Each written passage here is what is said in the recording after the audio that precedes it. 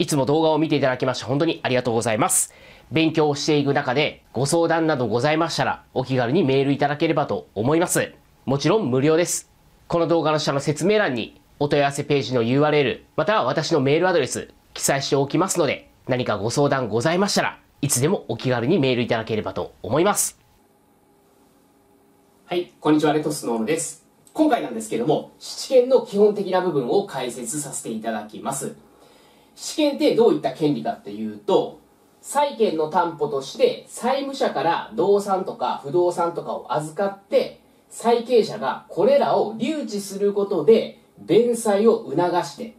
で弁済されない時はこの動産や不動産を競売にかけてそこで得られた売却代金そこから優先的に弁済を受け取ることができる権利。これが試験なんですね。で、これパパッとね、読んじゃうと、なかなか何を言ってるのかわからないので、ちょっとこちらの具体例を見て、えー、解説していこうと思います。まず A さんが B さんから10万円を借りたとします。なので、債権者は10万円の貸金債権を持つわけですね。この債権がこれですね。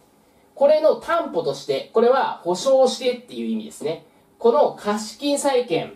債権者 B が持っている貸金債権を保証するために、債務者 A さんから、まあ、今回はバッグ、動産ですね。動産を預かったんですね。で、預かったということは、B さんがこのバッグを留置する。まあ、留めておくということです。で、そうすると A さんとしては、このバッグ返してほしいわけだから、早くこの10万円を弁済しようと、ちゃんと期限内に弁済しようって思うわけですよね。そのように心理的な圧迫をかけることによって、この10万円を返してもらおうというのが知見なんですよ。で、もし、この10万円を A さんが期限内に返さないといった場合、B さんはこの留置したバッグを競売にかけて、そうすると誰かしらが凶落するわけですよね。落札するわけです。で、落札された代金、つまり売買代金から優先的にお金を回収する。貸した10万円を回収する。まあ、例えば、12万円とかで売れたというのであれば、その中の10万円を回収すると。まあもちろん利息も取れるんですけども、回収すると。まあいった流れになるんですね。で、こう考えると、抵当権とよく似ているって気づきませんか？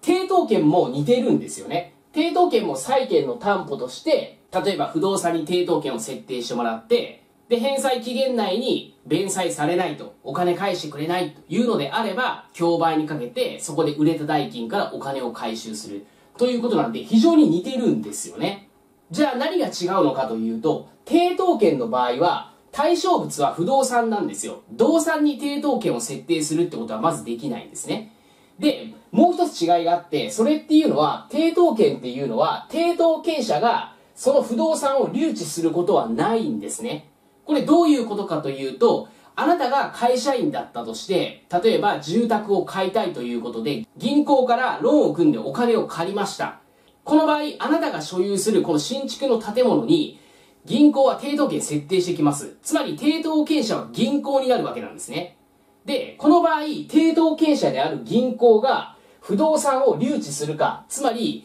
銀行がこの新築の建物を使うかって言ったら使わないですよね。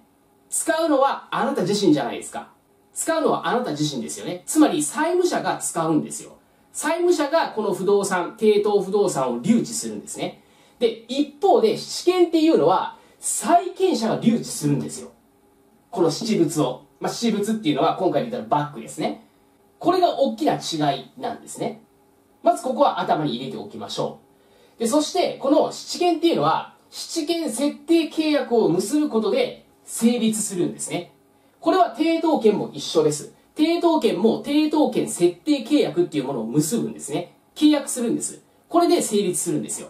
で、このように契約をして成立する担保物件のことを約定担保物件って言うんですね。約定担保物件は試験と抵当権の2つです。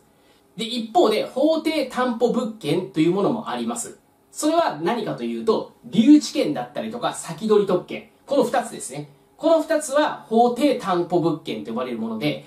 留置権設定契約とか先取り特権設定契約っていう契約はないんですよ。なかったとしても、お金を弁済しないといった事由があったりしたら、もうそれによって、もう自動的に留置権だったり先取り特権が発生するんですね。契約をして発生させる担保物件じゃないものを法定担保物件と呼ばれます。法律で定められたもう担保物件なんですね。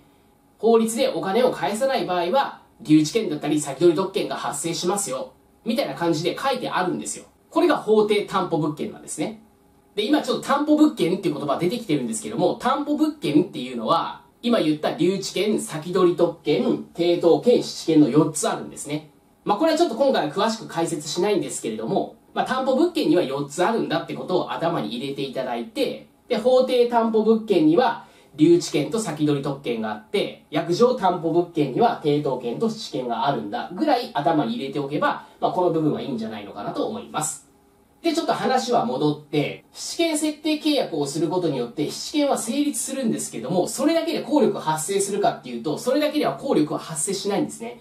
このバッグを引き渡すことによって、七元の効力が発生します。この点もちょっと注意をしておきましょう。で、またこの引き渡しをして、B さんが占有をすることで対抗要件を備えるんですね。まあ、今回は動産なんですけれども、不動産の場合は登記をすることで対抗要件を備えます。で、続いて、動産地権者が占有を奪われた場合、どのようにして取り戻すかという話です。今回の事例で言うと、10万円を A さんは借りて、その代わりにバッグを預けましたよね。七物として預けました。で、B さんが占有してます。で、誰かに奪われた、第三者に奪われたって言った場合、B さんはどのようにしてそのバッグを取り返すかというと、これは占有回収の訴えによって取り返すことが可能です。この占有回収の訴えは奪われてから1年以内、奪われた日から1年以内に訴えを提起しないといけません。そしてじゃあ七元に基づいて返還請求できるかっていうと、これはできないんですね。これはできません。で、この点については個別指導で解説させていただきます。で、続いて、動産試験と不動産試験の違いなんですけれども、動産試験の場合は、この動産、B さん預かっているんですけども、これ使用収益することはできません。つまりバッグを誰かに賃貸して、そこから賃料を得るっていうことはできないんですね。で、一方で、不動産試験については使用収益できるんですよ。例えば、A さんが建物を持っていて、建物を B さんに七物、七件の設定の対象物として預けましたと言った場合、B さんはその建物を第三者に貸して、賃貸をして賃料を得ることができるんですね。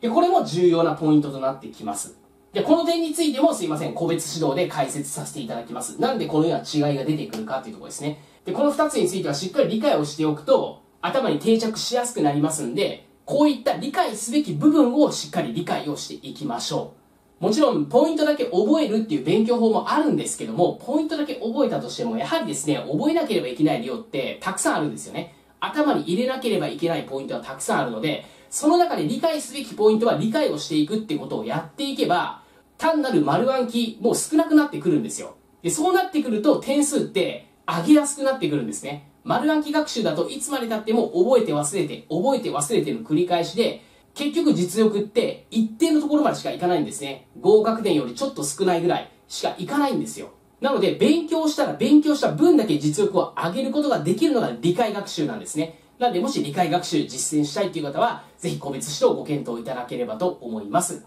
個別指導については、この動画の下の概要欄に URL を貼っておきますので、そちらからご覧いただければと思います。あなたの受講をお待ちしております。宅建合格目指して一緒に頑張っていきましょう。